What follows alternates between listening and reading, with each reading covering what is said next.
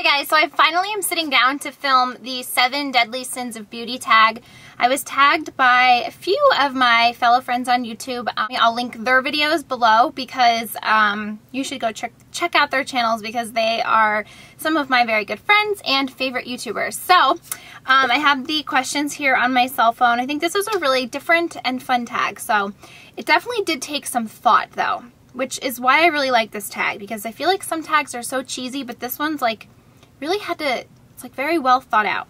So the um, deadly sin number one is greed. And the question is, what is your most expensive and your uh, most inexpensive beauty items?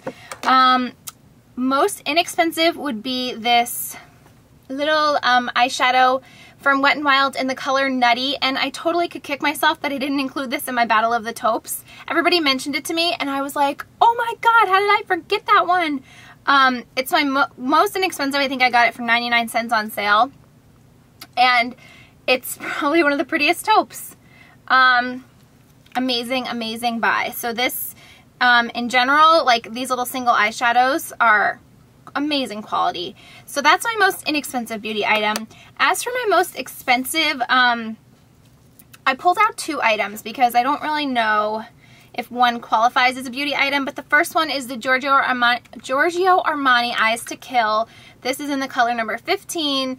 And these are basically pressed pigments. And I think they retail for $35. Um, it's pretty expensive for one single little product of an eyeshadow, but at the same time, totally worth it. A lot of people have said that the L'Oreal Infallible eyeshadow is an exact dupe for this. I don't own that and so I wouldn't be the best person to ask but one of my other very good friends on YouTube and somebody's videos that I am addicted to, Amy, she did an amazing comparison of a review between the Armani Eyes to Kill shadows and the L'Oreal Infallible shadow. So I'm going to link her video below. Um, her video is the only one I've seen a comparison and I think it's... Um, it, her comparison of like her review of this is dead on and um, I totally trust her opinion and I think she gave an amazing review. So I will link her video below, but um, this is definitely probably one of the most expensive, if not the most expensive um, beauty product. The other thing that I found in my drawer and dusted the dust off, oh, and looking back I could just cry. This is the Hello Kitty mirror. It's actually a powder. It's a mystery powder um, sheer mystery powder from the Hello Kitty collection, which I swarmed over this entire collection. When it was released, I think everyone did. I think this compact cost me $90. Really, um, I've, I don't think I've ever used the powder inside. It's, it's sheer. Like, what is the point of that? I would have rather like a double mirror. So I literally just kind of kept this in my bag to use as a mirror when in reality, I don't want to blind you, but look how small that mirror is. So I literally paid $90 for this. It is very heavy. Um, obviously has really pretty Swarovski crystal embossing on it, but like, I don't know if you can see up close, there's some, some chipping and some peeling of the paint or whatever. So yeah, this was definitely most ridiculously expensive, most ridiculous product. Um, if it had like the mineralized skin finish powder in this, which I love, then it would totally have been worth it. But I don't use this product. I, I strictly just bought this to use as a mirror. And that's ridiculous that I even just admitted that to you. Question or deadly sin number two is wrath. What beauty products do you have a love-hate relationship with and what product has been the hardest to get? This was a really easy question for me. The products that I have a love-hate relationship with are pigments and loose shadows. I think that um, loose shadows, mineral shadows, shadows, pigments, specifically bare mineral shadows and MAC pigments are some of, I think, I think produce some of the most gorgeous color eyeshadows I've ever seen. Um, one of my very favorite eyeshadows is Nude Beach by um, Bare Minerals and it's just like a gorgeous color for anybody to wear to just sweep on your eyelids and be good to go. Um, it's so, so, so pretty, but it's a pain in the neck to work with because it's loose, so there's always product spilling, getting everywhere. Um, I feel like I waste product. Um, I have tried pressing pigments in the past, and it was okay, but they would end up like crumbling and not staying packed and pressed. So I love them because I love the colors that they have and the, and the payoff that they give because they always just look amazing on. But I just wish they would be pressed, but then at the same time, like, I don't think you'd get the same quality and effect in a pressed shadow of this. So hence I guess why it's love-hate. And then for the product that um, was hardest to get, I have four things here. And um, a lot of you guys know back when I started YouTube, I was like all MAC and I just had my blinders on. Um, I became very obsessed with tracking down limited edition items from collections in the past that was BM before Michele, not bowel movement. I didn't even think that through. I might have to edit that out. Anyway, it was products released in collections prior to me even knowing what MAC Cosmetics was. It was prior to my makeup obsession and collecting. And so um, I searched blog sales, CCOs. I would call CCOs. Um, I think um, live journal, like live journal sales. I went crazy and I would like keep this ongoing list of like these products that I was like set out to find.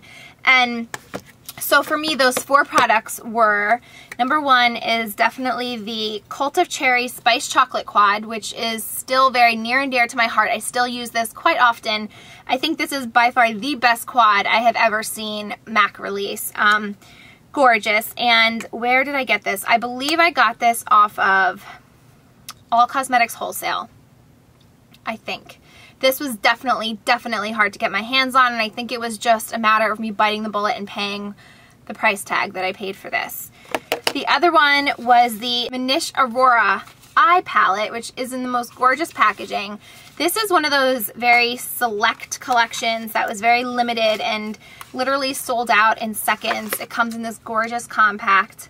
I can be honest and tell you that to this day, I've never even used this palette since I've gotten it but I just wanted it simply for the fact of collecting.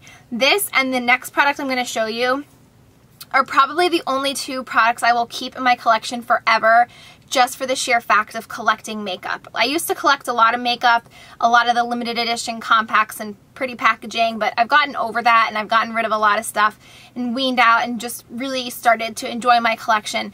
But um, even though I will not really use these colors, as you all know, if you know me, these are not colors I would typically wear, I will never part with this palette. Um, no matter how much money somebody offered me for this, no matter how poor I became, I don't know, I would never part with it just because I love this palette.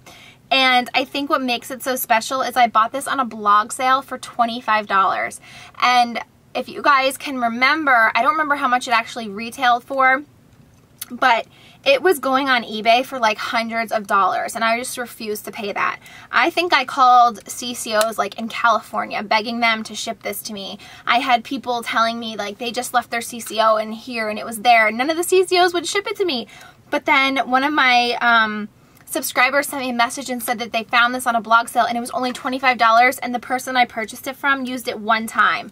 And like it doesn't even look like it's been used at all but I didn't care. I just wanted it because it's so gorgeous. Probably the best, prettiest packaging MAC's ever released. So that's that one.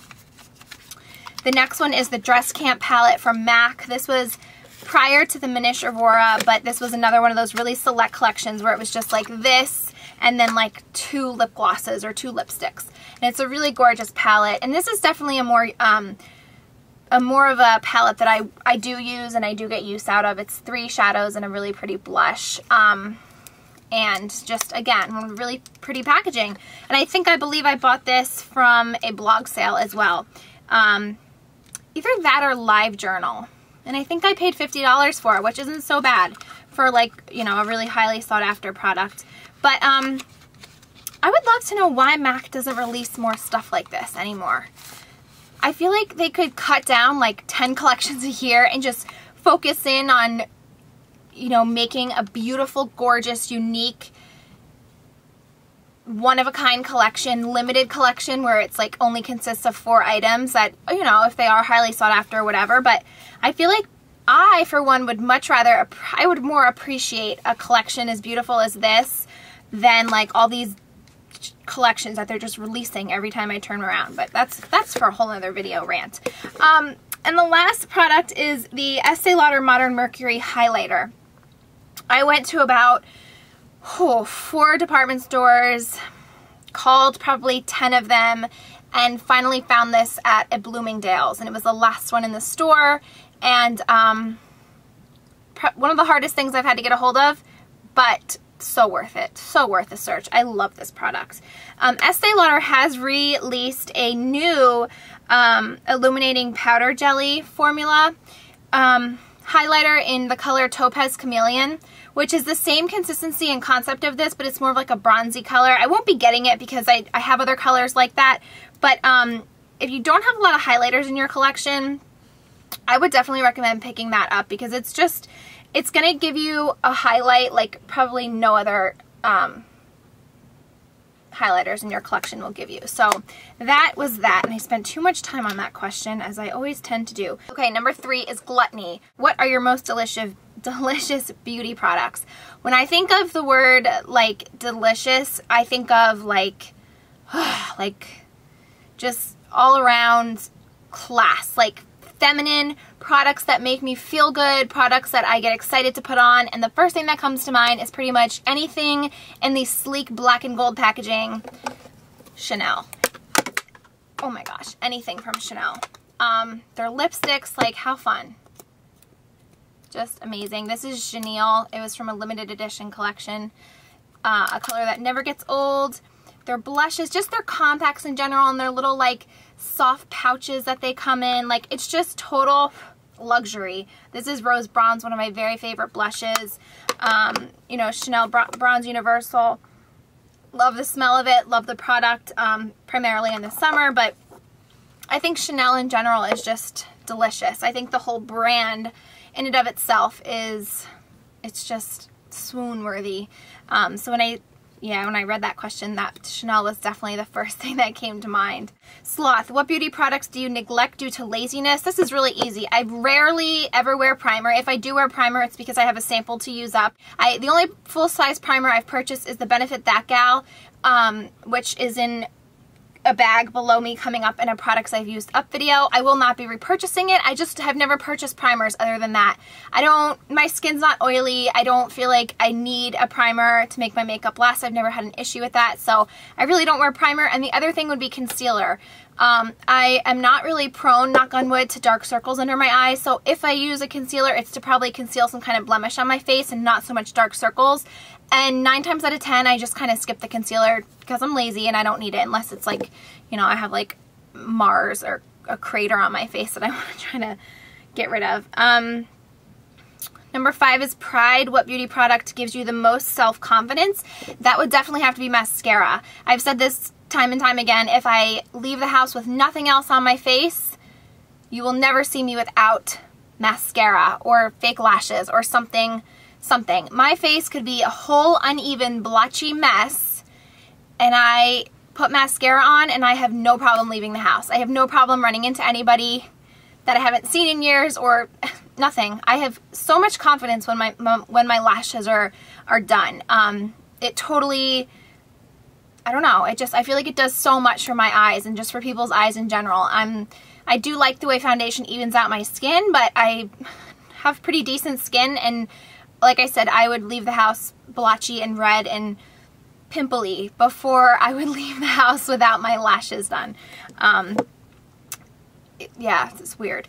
Um, lust, what attributes do you find most attractive in the opposite sex? Who came up with this question and what the heck is it doing in this tag? I don't even know how this relates to beauty products at all. And the last question, number seven, is envy. What items would you most like to receive as a gift? Um, hmm, that's a good question. I don't really know. Um, probably just, um, I don't know. There's nothing really that sticks out in my mind. I would say maybe uh, a gift card to the Chanel counter because that's like my favorite brand. Um, some other people have said perfumes, but I feel like perfume is a very personal thing. And unless people know me really well, it would be hard to gift a perfume to me. Um, so yeah, maybe just like something from Chanel. That's just, when I have an extra couple bucks laying around, that's where I go blow it. other than that, I would much rather like jewelry or accessories over makeup these days. Um, so that's it. That is the entire tag. I hope you guys enjoyed it. This was longer than this tag should have ran, but um, this was really fun. I like that it got my brain cells working. And um, I encourage anybody that hasn't done this tag already to do it. Leave it as a video response below. If you don't make videos, or you're not comfortable with it, leave your seven deadly sins of beauty in the comment section. I would love to read them. Thank you guys so much for watching, and I will see you soon. Bye!